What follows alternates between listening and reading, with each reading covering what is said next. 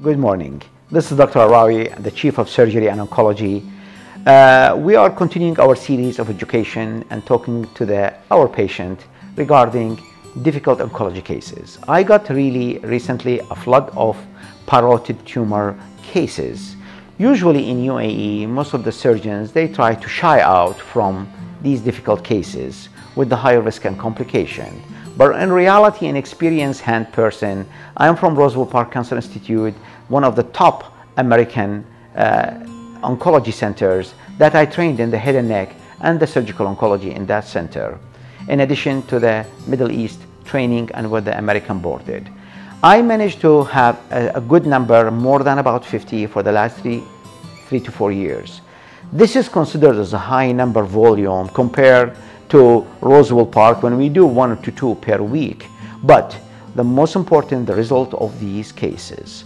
The result of the cases, especially with the using of the NIM stimulator, 99% high satisfaction for the facial nerve uh, continuity and conduction after surgery.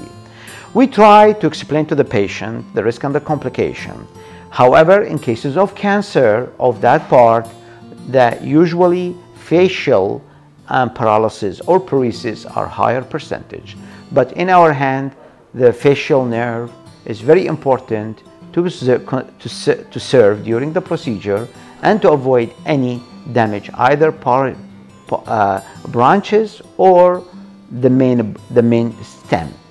The most important part, fine meticulous dissection of the nerve, knowing the anatomy, knowing the multidisciplinary team that's going to work that this case is cancer or not cancer, intraoperative frozen section, and the time to take to dissect these cases is the most important.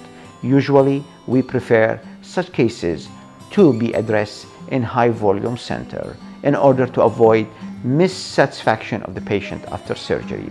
We explain to the patient in an MDT, we explain to the patient in a consent form about the risk and the complication. That's not to terrify the patient, but to explain the reality of these cases and the risk and complication. We are lucky we did not have any nerve paresis or paralysis. However, one day or two days temporary paresis can happen, but none of them has permanent results.